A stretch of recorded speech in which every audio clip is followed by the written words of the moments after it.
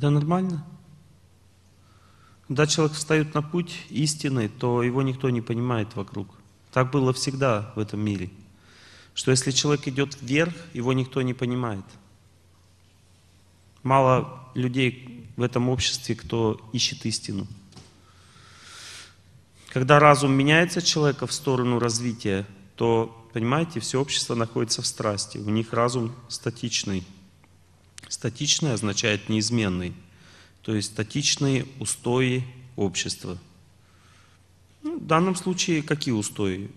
Аморальные в основном. Статичные аморальные устои. Это культурное пьянство в скобках, культурное слово в скобках пьянство. Вот. Дальше разврат, культурный опять же, культурный разврат. Дальше это отсутствие глубоких отношений в семье, отсутствие работы над собой, внутренней жизни, то есть молитва, отсутствие. Это то, как живет сейчас общество. Человек, когда начинает всеми этими вещами заниматься, интересоваться, то его никто не понимает, потому что разум перестает быть статичным, он начинает двигаться. А разум изменяется, все вокруг человека меняется. Меняются друзья, знакомые, окружение, понимание, э, все меняется. Телевизор его уже не устраивает, ему нужно что-то другое смотреть. Его не устраивают рестораны, в которые люди обычно ходят. Его не устраивает это общество, в котором, которое его окружает. Ему нужны другие отношения, более высокие. И пока он не нашел себе вот этот новый, а, новых людей для общения и так далее, ему будет тяжело, плохо. Он должен также поменять свое отношение с теми людьми, которые раньше ему были очень близки. Он не, не сможет уже с ним строить очень близких отношений в этом случае. Он должен их любить, но он должен знать, как любить разных людей. Если человек не стремится к истине, то его надо любить, но не надо с ним строить очень близких отношений, потому что это будет приводить страданиям обоих. Любовь — это отдавать. Любовь не означает обмениваться, это отдавать всегда. Мы можем обмениваться любовью только с Богом.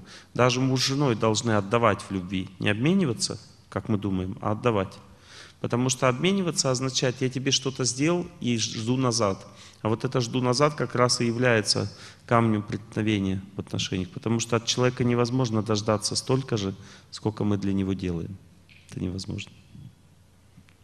Поэтому наступает страдание в результате.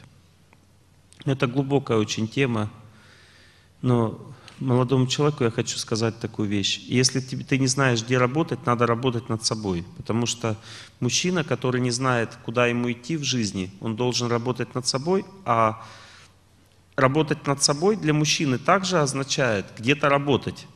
То есть мужчина должен где-то работать из чувства долга и должен при этом работать над собой. То есть он должен соблюдать режим дня, закаливаться, делать упражнения какие-то, которые его тренируют как личность должен молиться и где-то работать, потому что труд развивает разум. Если он сидит дома просто, то он не сможет развиться. Так же, как женщина, которая не вышла замуж, она должна постоянно работать над собой и при этом постоянно о ком-то заботиться, потому что разум женщины развивается в заботе.